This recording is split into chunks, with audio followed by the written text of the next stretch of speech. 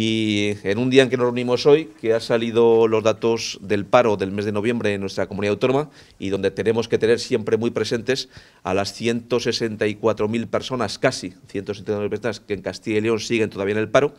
y también a las más de 76.000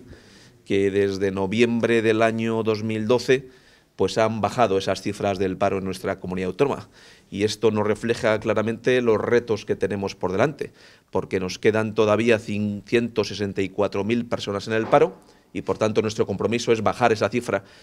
a lo largo de los próximos años, pero también son 76.000 las personas que han podido encontrar un puesto de trabajo en los últimos cinco años, noviembre del año 2012, noviembre del año 2017, y nuestro compromiso es ir incrementando esa cifra de personas que abandonan